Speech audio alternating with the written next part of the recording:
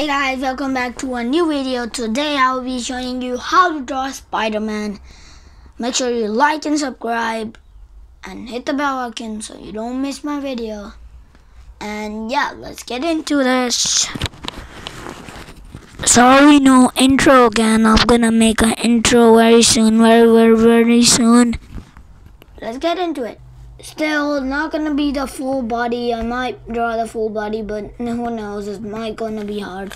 But anyways, so basically, first off, you wanna get um started with the basic head like that.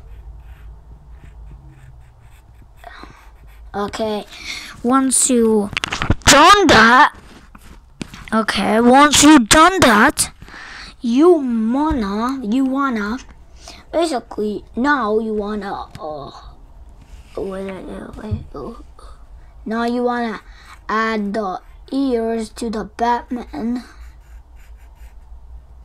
And then you wanna add like this so you can have the 3D thing. I don't even know if this is 3D yeah this one's 3D so just draw like this on the both sides and um, now for the eyes you just need to add this.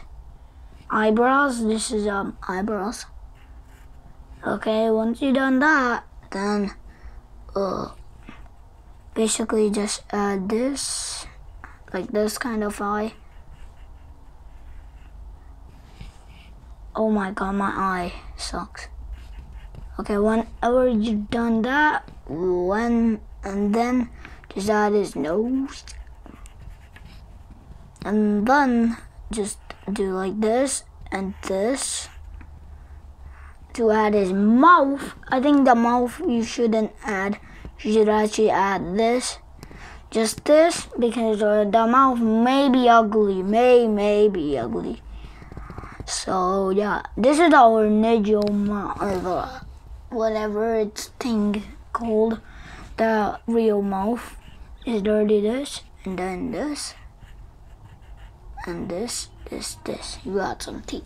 So that's it, it just should go right here but uh, no.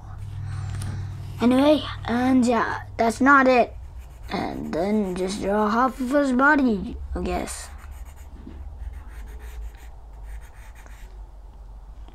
Okay let's try to make this better. Power of editing. Oh wait shoot dun da da I finally done this. And also I do.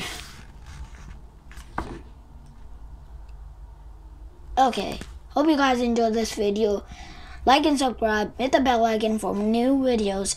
I'll see you in the next one. Bye